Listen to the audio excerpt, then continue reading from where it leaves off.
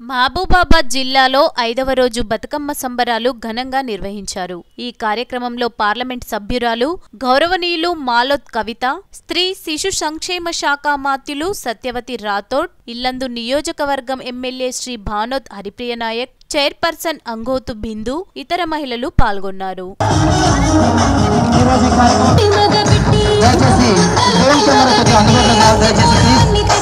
మంత్రి గారు ఇచ్చే ఉన్నారు.